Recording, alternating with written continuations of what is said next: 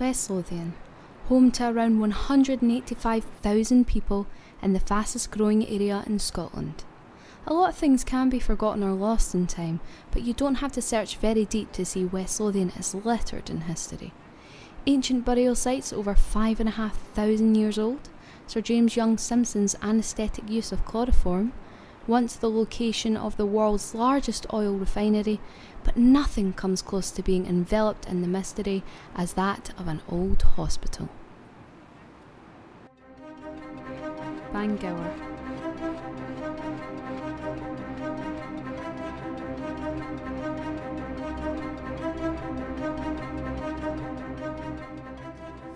Never mind rumours. We are going to dive deep into the story behind this forgotten hospital and discuss its history from start to finish and find out what really happened at Bangour.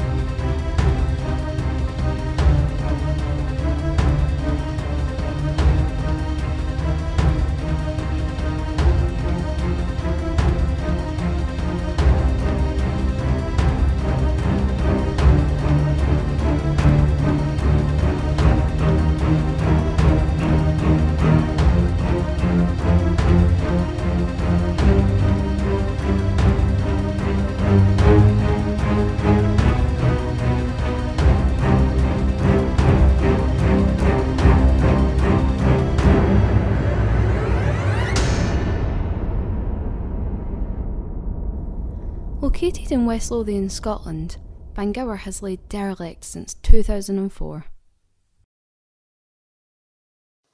For many years, there was discussions as to where the mentally ill should be placed throughout the Central Belt.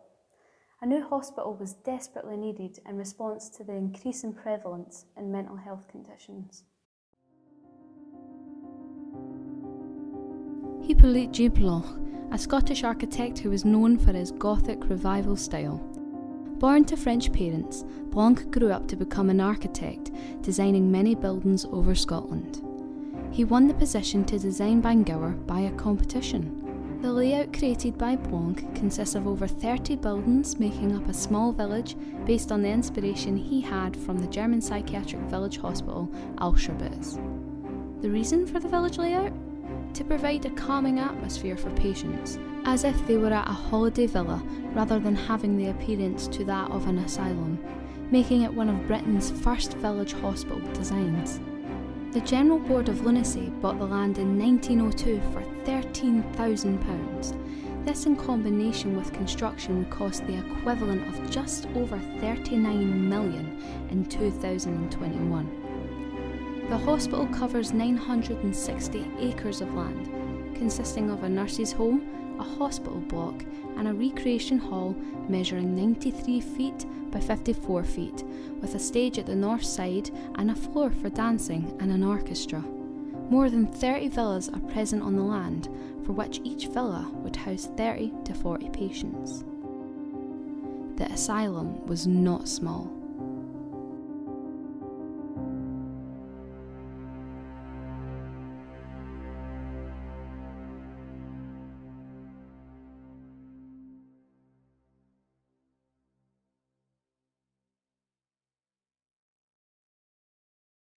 General work like tidying, cleaning, taking stuff to the wards, moving patients, or uh, the sort of down part of it was going to the morgue.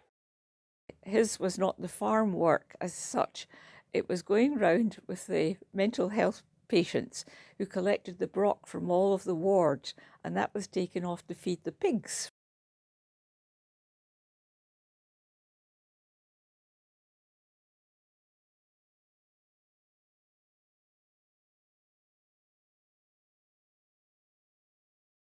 Often he was called in with some of the other people who were doing general work and labouring work around the hospital uh, to do things like move bodies.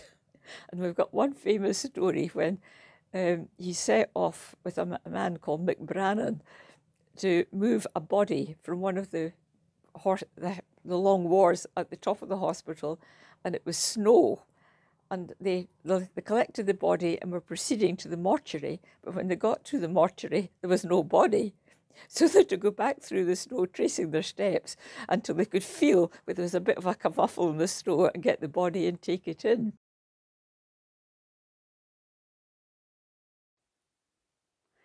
After costing £300,000 at the time to construct, Bangour opened officially at half past 12 on Wednesday, the 3rd of October 1906. However, the first patients had already moved in by 1904, and one year later, in 1905, there was over 200 patients in residence. Then, by the time of its official opening in 1906, Bangour had 400 patients living there.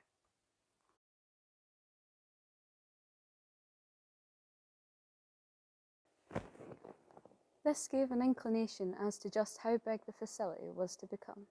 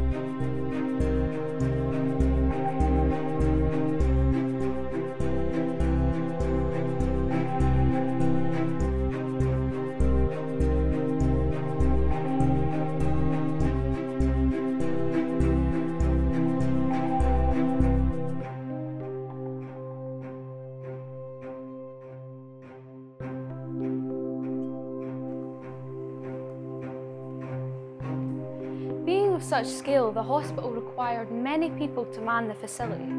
During the century of its existence, the hospital brought many jobs to the people of West Lothian.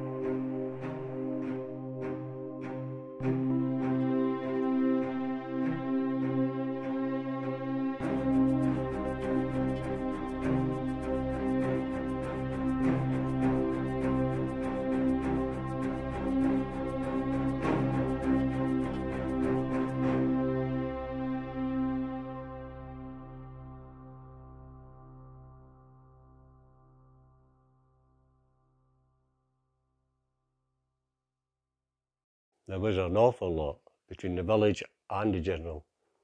An awful lot of people there. Maybe a couple of thousand or something like that. Or a thousand and a half.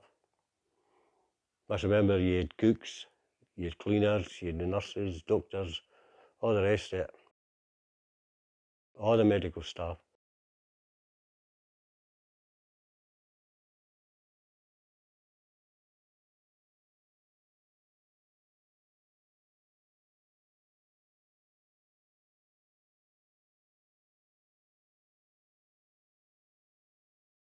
At the forefront of psychiatric medicine, it was a teaching ground for nurses and doctors.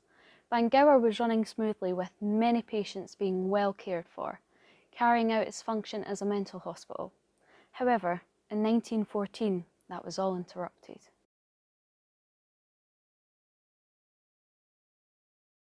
World War One, a plethora of battle wounded soldiers, physically and psychologically, were being transported back from Europe as a result of trench warfare. Bullet and bomb injuries were by the plenty. This meant that there was an increased demand for medical staff and supplies. So in 1915, Bangour Psychiatric Hospital was converted into a war hospital. Psychiatric patients were transported to other hospitals all around the country, making room for over 3,000 servicemen up until 1918. Within the first three weeks under the War Office command, the hospital increased its bed capacity by 500, which at the time was almost double the original capacity. Wounded soldiers arrived daily on the train line, which ran straight into the heart of the village near the boiler house with two platforms. As well as bringing in injured men, the train brought coal and other supplies. Today the tracks are no longer there, but the imprint of the line on the land still remains. The tracks ran in from the east side of the village since 1905, but were eliminated by North British Railway in 1921.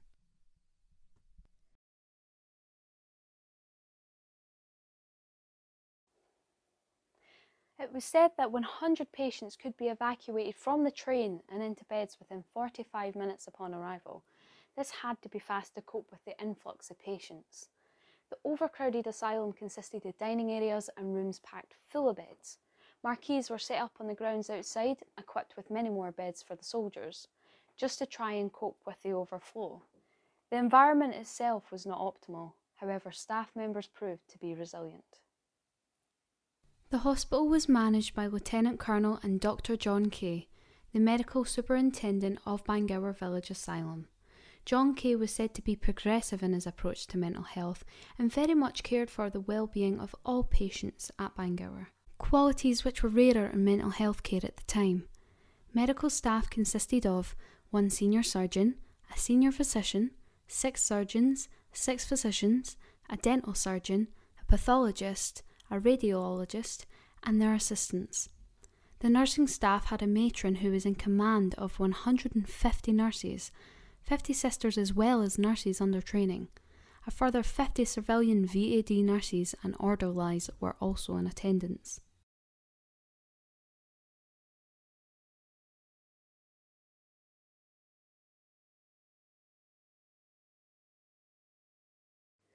Guards composed of one sergeant and 12 soldiers, forming a sentry at each of the three entrances to the asylum grounds and standing watch.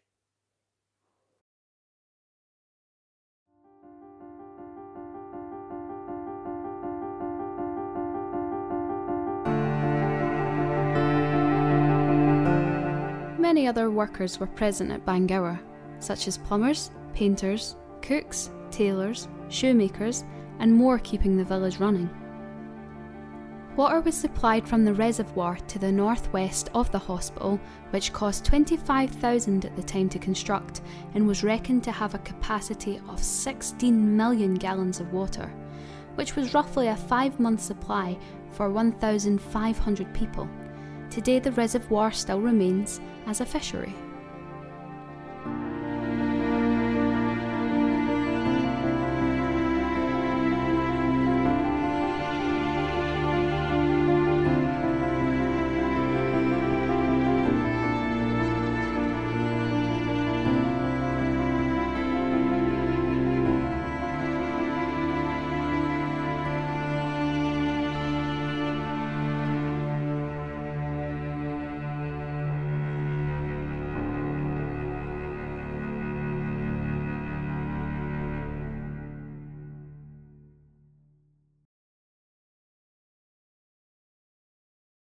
End of the First World War led to the reopening of the asylum. During the time of 1926 and 1929, the Bangour Church was constructed in gratitude to the hospital and its patients for providing accommodation and treatment to the soldiers. The church dedicated to Our Lady was designed by a Nottingham born architect. Harold Ogle Tarbolton. This beautiful church still stands today, perfectly preserved inside and out.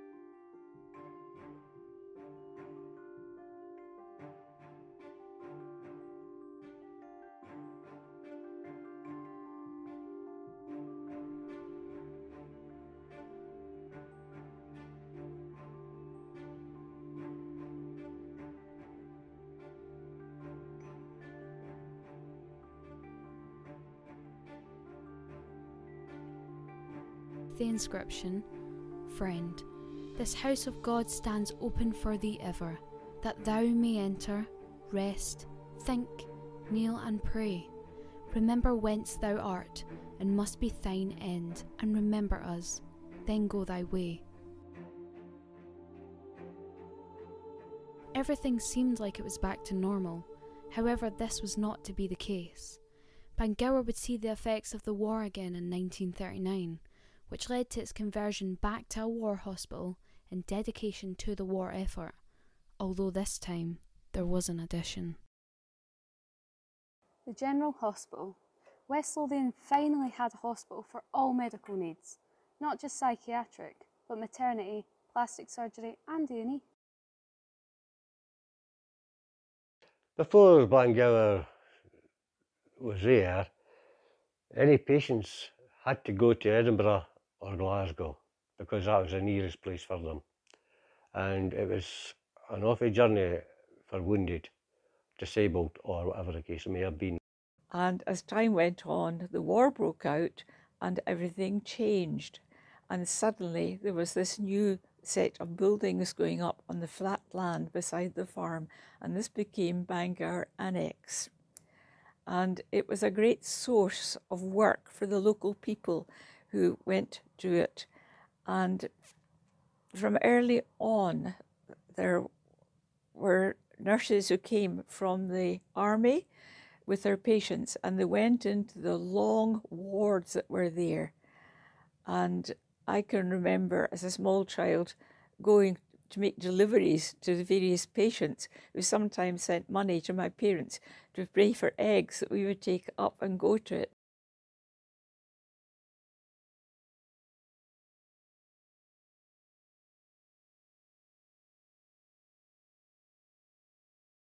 The burns unit and that was something that was very important because so many of the men that went to the burns unit they have been damaged in uh, aeroplane accidents, naval accidents. The General Hospital was situated to the south of the reservoir, but northwest to that of the psychiatric village.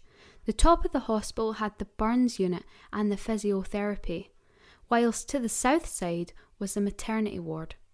Specialising in plastic, facial-maxillary, and thoracic surgery, as well as its burns and maternity units, the hospital was world famous at its peak.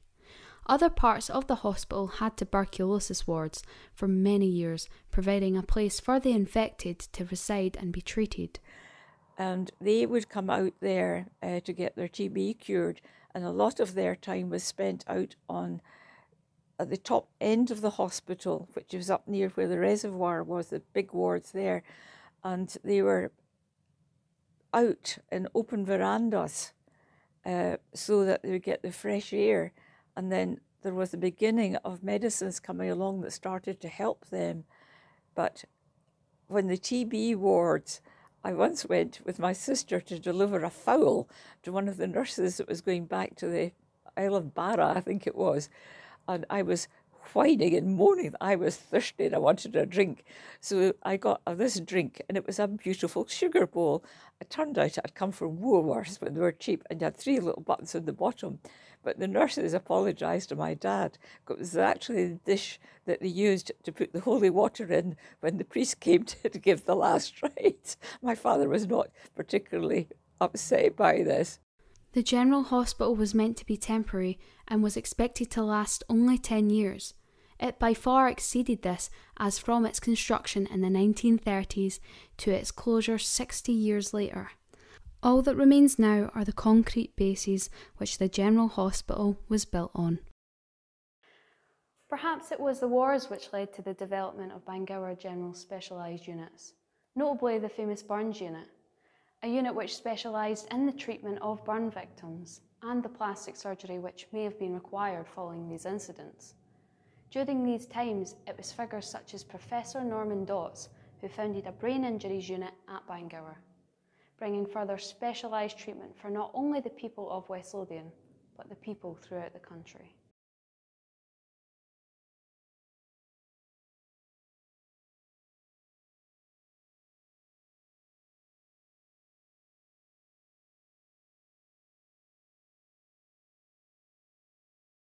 The piano was often taken out at Christmas time and it was put onto a trailer and it was taken to the different wards so that they could do their carol singing and have wee concerts and people would get down to the recreation hall for the dances there and that was a great thing you know for folk coming up from bathgate and getting involved in these kind of things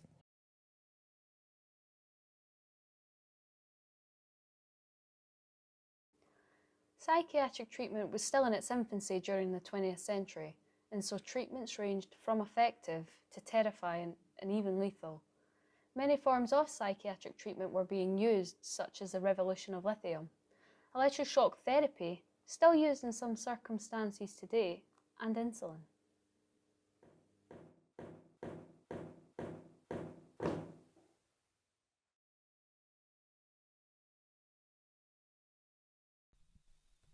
During the 20th century, it had been observed that epileptic patients who took seizures did not present with schizophrenia or bipolar disorder.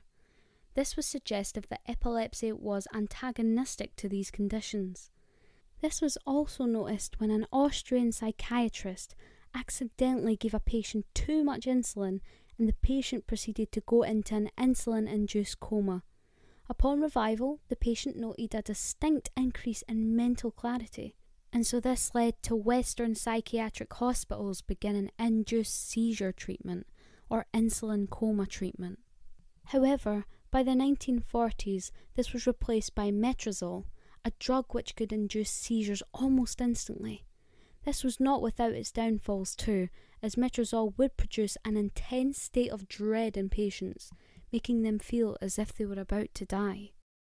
After this, the next evolutionary step in convulsive therapy was the development of electroshock therapy, known today as electroconvulsive therapy, where electrodes were introduced on either side of the patient's head and they were then restrained whilst a current was ran directly through their brain. This would trigger desired convulsions, Although, like many forms of psychiatric treatment in the 20th century, this procedure was overused and even abused. Other forms of treatment included the burning of the brain tissue to control outbursts of rage, but probably the most prolific of these psychosurgical techniques was the frontal lobotomy. Holes were drilled in the skull to allow access to the frontal lobes, and sections were then sequentially removed in hopes of treating various conditions. This technique would be developed further into horrific transorbital lobotomy due to the method access to the brain through the eye sockets.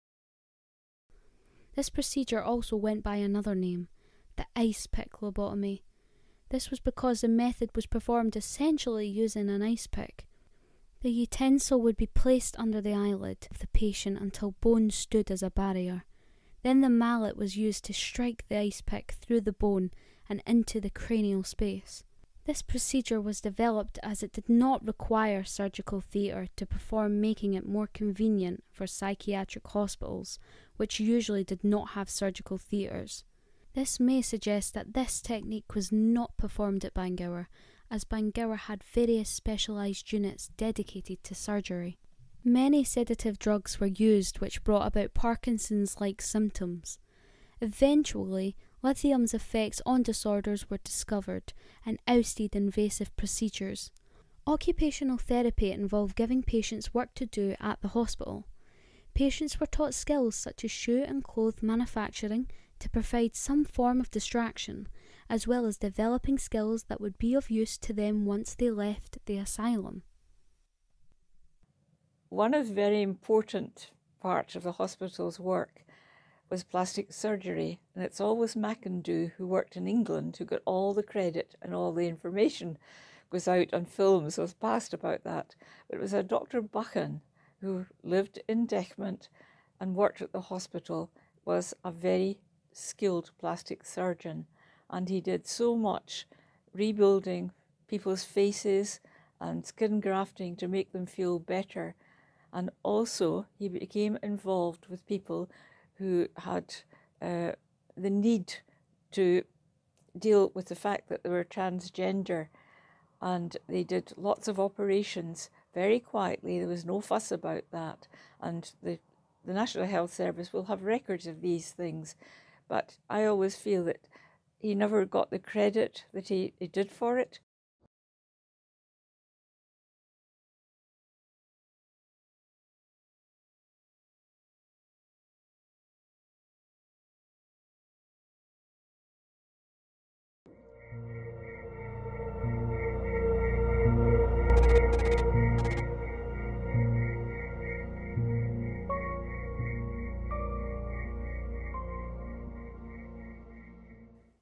Many famous doctors worked at Bangour, including Alexander Burns Wallace, who worked in the hospital during the Second World War.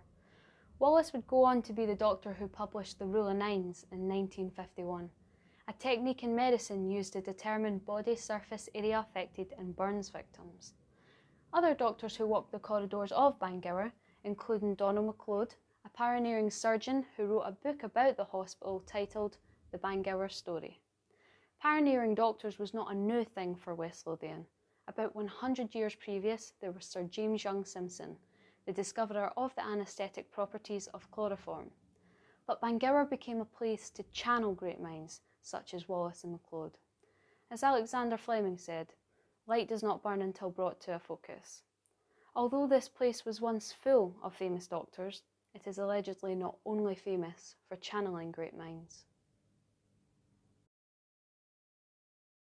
Today, Bangour is said to be dark, haunted ruins, infested with spirits and gruesome history.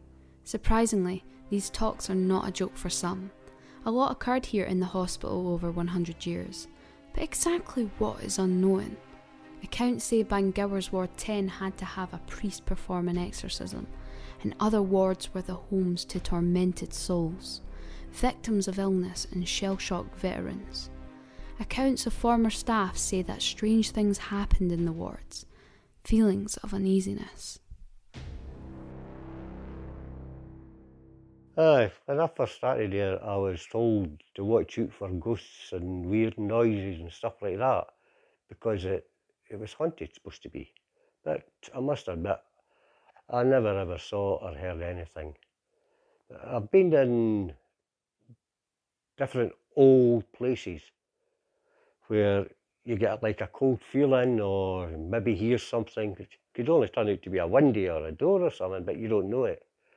And it immediately brings your mind back to Bangour with them saying haunted. How much of this is true, we do not know. But the famous graffiti my mum put me in here and the ha-has that are scribbled over the buildings with broken windows and the smell of dampness do create a dark atmosphere. What is clear is that there is mystery surrounding this hospital, but there are also some unpleasant truths. In 2007, 566 unmarked graves of Bangour patients were discovered.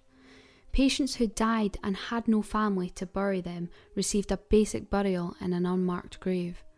Bangour may have had a church, but it was unwanted to have a cemetery on the hospital grounds, as this may be unpleasant for other patients.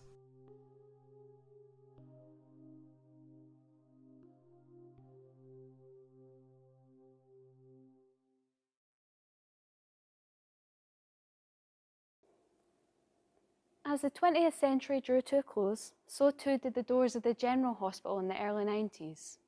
In 1974, it was decided that a new hospital would be built, St John's. Eventually, the doors of the psychiatric hospital would be closed, and in 2004, this once thriving hospital at the cutting edge of psychiatric medicine was left derelict.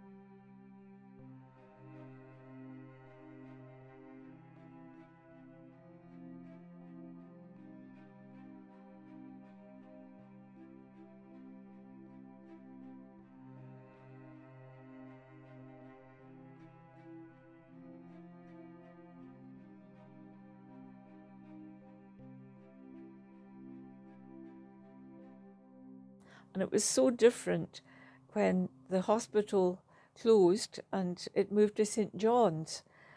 No, no, I do not agree with shutting it. I think it was a part of the history of this area and it should have stayed open. They, they just was a specialness about the whole place.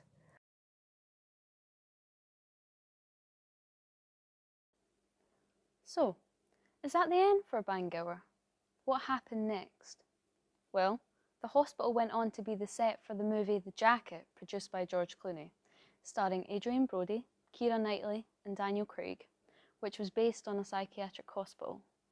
The area has also been used for police and military training. But now, the hospital grounds have been bought over and Bangour is marked to become a village, consisting of homes, flats, and a school. This conversion requires the demolition of multiple buildings that were a part of the original design. However, not all buildings will be destroyed as some are destined to be converted into homes and other facilities. Just like in 1902, today there is a rise in mental health conditions and a lack of resources to help. We must reach out, be patient, and provide hope and comfort to those who need it.